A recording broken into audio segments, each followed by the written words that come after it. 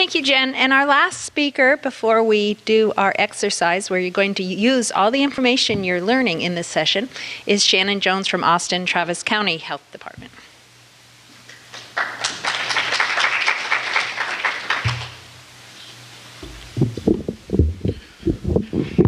Well, good, good afternoon. Does everyone stand up and take a quick stretch? We're running a little late, but I think everyone probably would do good by doing a stretch.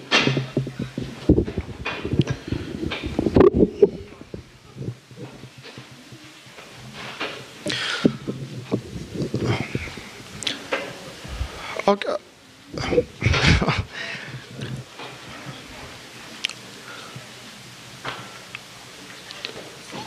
Before I get started, I would like to acknowledge uh, two critical, vital staff who are here with me today who are leading our efforts within Austin Travis County. That's Ms. Vina Viswanathan and Ms. Vicki Bailey. All stand up so they can lead, uh, see you all there. Many of you are familiar with Vina and Vicki, so we appreciate having them there. Um, I'm going to, I have a lot of slides, but I'll try to get through them as quick as possible. I'm already only have five minutes, so hopefully I can get my other uh, 10 minutes to, to be able to uh, facilitate this. Thank you for the opportunity to join you today and talk about our community health assessment and community health improvement plan.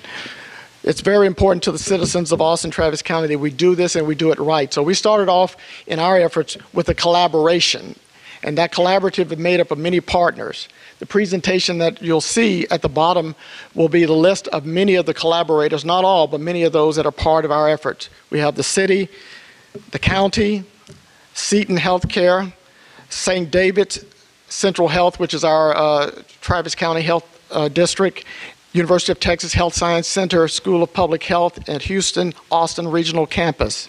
Uh, for those from UUT, I make sure I get that right.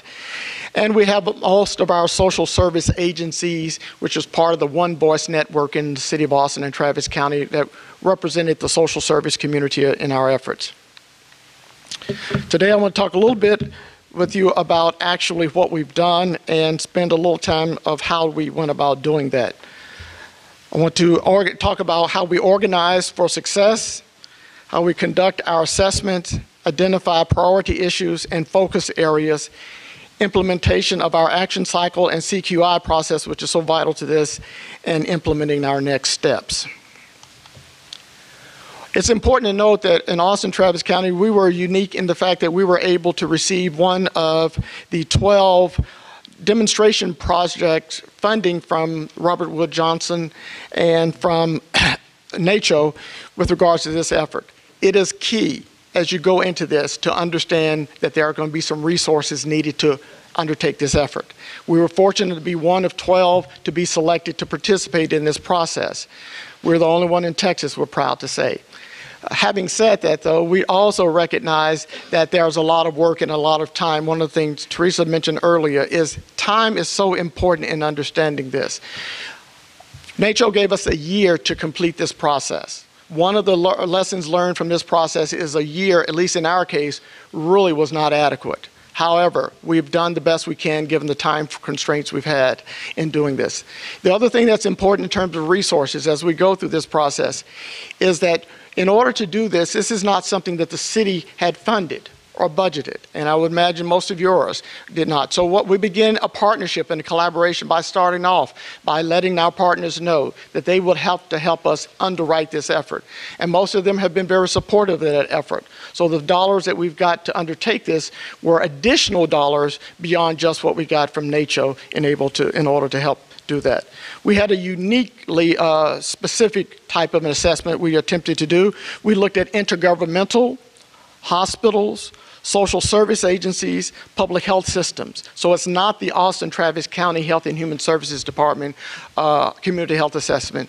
It's the Austin Travis County Community Health Assessment. And we emphasize that because the deliverables that come out of this in terms of the chip, there will be some things that the department will be responsible for, but these other agencies and hospitals and organizations have also agreed to implement those aspects of that.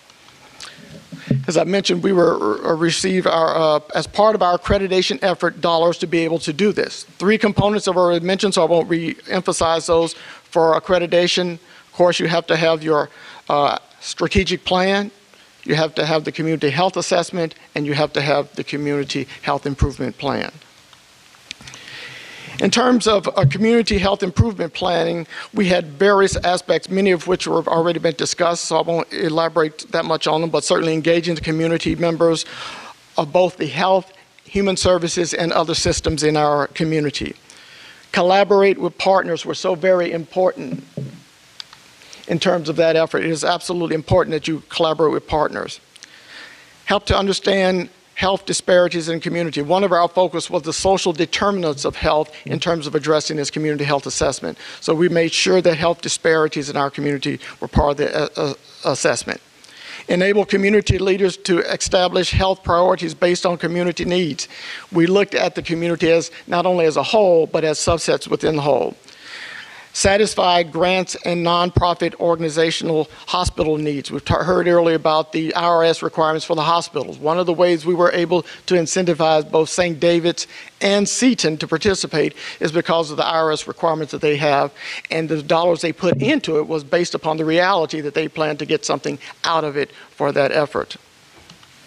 As mentioned earlier, we use the modified MAPP project. I won't go through all of this, but as mentioned earlier by Teresa, we looked at the engagement process, organizing for success, four MAPP uh, assessment, identify strat uh, strategic issues. We went through that process as part of our efforts to uh, do our assessment.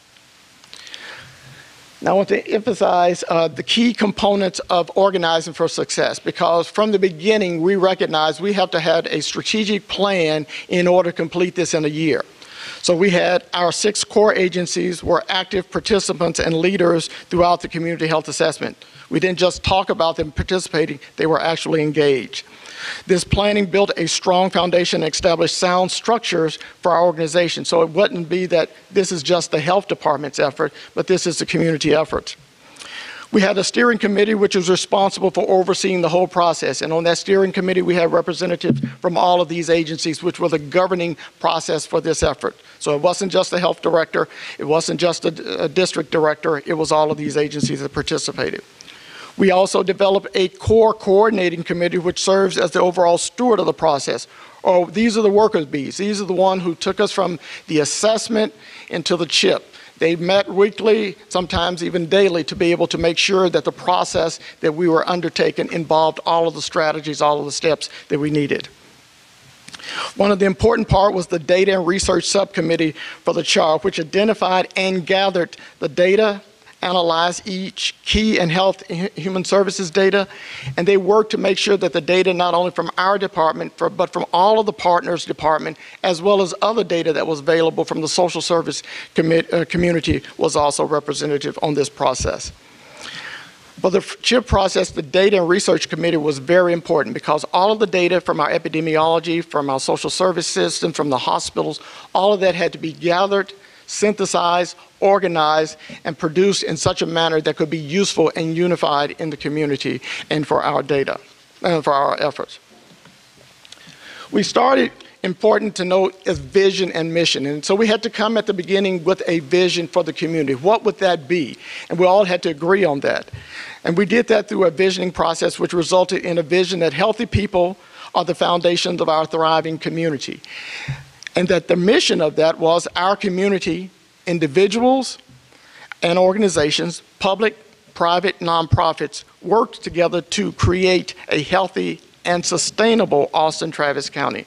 Not Health and Human Services Department, not Seton Hospital, but community for Austin and Travis County. And that's so important to make sure from the beginning we know what that vision is so as we go through the steps, we can uh, make sure that we are achieving that.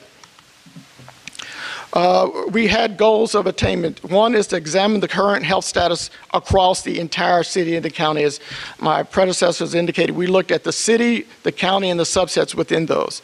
To explore the current health concerns among residents, not just what the data told us, but also what the residents uh, shared with us. And to identify community strengths, resources, forces of change. What's going on in our community that we need to be aware of as we go through the process of developing this assessment? As well as the gaps in services to address the issues that we identified. It was important that we, as I said earlier, talk about the social determinants of health. What are the driving factors beyond just health that are causing these problems in terms of our community? So the definition of our assessment would be a broad uh, understanding of assessment and not just a health-only assessment.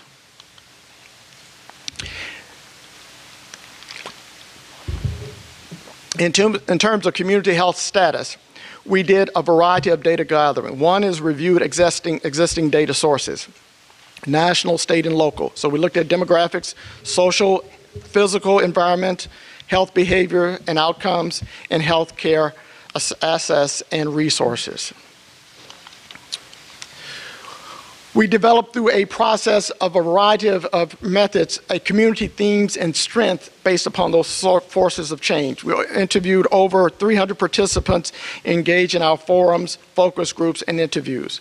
We have focus groups within the four precincts of Travis County. So we went county-wide and develop forums to be able to gather data from the individual community residents.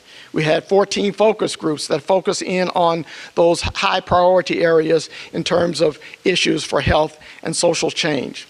We interviewed 28 key informant interviews. These are policymakers, key leaders, social uh, agencies heads, as well as uh, community organizations in our community. And we used findings from 25 key informant interviews that were conducted by the Travis County Healthcare District uh, Central Health Connection Leader Dialogue Series, which happened to be going on right as we were beginning our community health assessment. So that whole aspect of using, utilizing what's out there is very important. Those priority, priority sectors we included, I won't go through them all, but here they are basically economics, public safety, behavioral health, hospitals, we also look at the uh, communities of color, African American, Asian, Latino, aging, disabled, all of those communities that were disproportionately impacted by the social determinants of health and involved them in both the focus groups, the interviews, as well as the uh, community forums. The community members and partner were invited together in the CHIP work group. So after we've developed our efforts, there were four areas that we focused on that came out of our assessment. And at the end of the presentation, I will provide for you our website in which you can find our community health assessment. The work group were responsible for doing several things. One, establish each of these four priority areas. So we had to focus in on chronic disease, focusing in on obesity. This is what the uh, assessment told us, so this is that area we focused on. Built environment, one of the two of the critical areas there was access to healthy food. One of the things we constantly heard in the community is the need to have access to healthy food. The second one was transportation. How do we get access to the community? One things about Austin and Travis County is a centrally core community. But with the gentrification impact in our development, we're seeing communities being forced out. So having access to the community to be able to get back to work, to get to health care, to get healthy foods were a critical issue.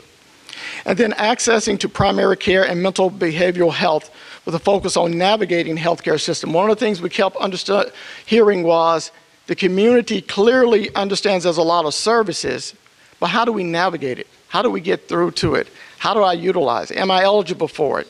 How does it work? All of those things are critical aspects in terms of what we heard from our community. And so therefore, it was rated as one of the high areas. Formulating goals and uh, strategies. Our CHIP work groups are in the process now as we go into the CHIP implement, uh, process of developing goals, objectives, evidence-based strategies, performance measures, and activities for each of the four primary areas. So as we transition from the assessment into addressing those four areas, these are the things we have to develop. And part of the process we are utilizing is utilizing work groups that came out of the CHIP to be able to focus in on those areas. And it's a very intense area. We have been able to, uh, through the resources, to contract with HRIA, which is a Health Resources in Action, a national group that actually was doing a similar kind of assessment in San Antonio, and we've been able to use them to help us through this process. And so they are assisting us in formulating those goals, objectives, evidence-based strategies, and indicators. And they're doing it in the sense that it's a collaborative effort, and once again, not on part of the department. It is important to remember that action cycle and the CQI process. We absolutely must make sure this is a continual process.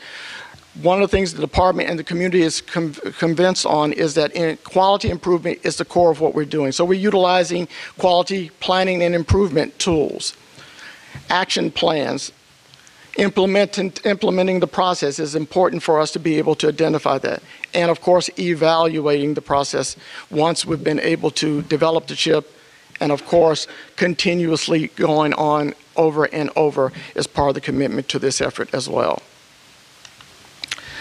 Our next step is our agency strategic planning. We're in the process now of incorporating within our department's agency the components, the resources we're going to need to implement for our department.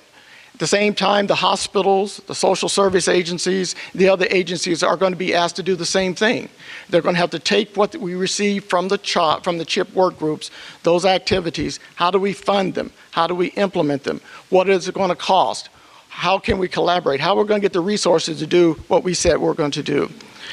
It is important in terms of identifying resources that we will have to go back to the taxpayers in other places, go to the private sector, and go to other communities to help us to be able to fund those specifically, those specific recommendations.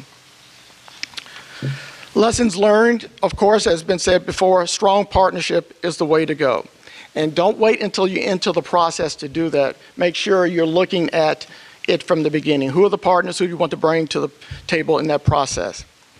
Organizing and planning takes a while, but it's worth it. We spend a lot of time at the very beginning deciding who is critical for what, who do we want to be part of this, who has resources, what plans already exist in order to make that happen. Another key point is having the right person. And from the beginning, we hired the right person to help lead us through that process. So I emphasize to you when you're looking, by, looking to hire or identify a lead for this, make sure you get the right person to do that. Community engagement is essential, as we said. The process is very, always iterative. Don't sweat the small stuff. That's so important. It's a lot of process, so don't get bogged down in small stuff because rest assured there's a lot of heavy lifting you have to do.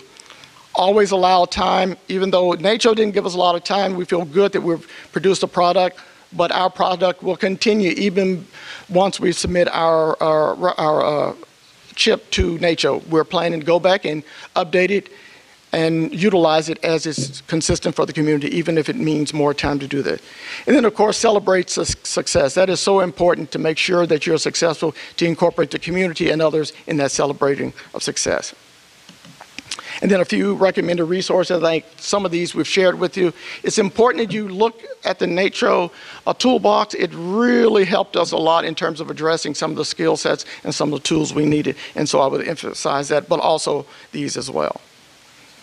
And then finally, uh, our, our our CHA is on our website, and I've listed it here for you. and It's also in your package. Feel free to go on it, look at it, uh, and utilize it as you feel appropriate. We're certainly happy to answer any questions in terms of our efforts, uh, should you want to call us. But uh, we appreciate the opportunity to share our experience with you uh, here at, at the conference. Thank you.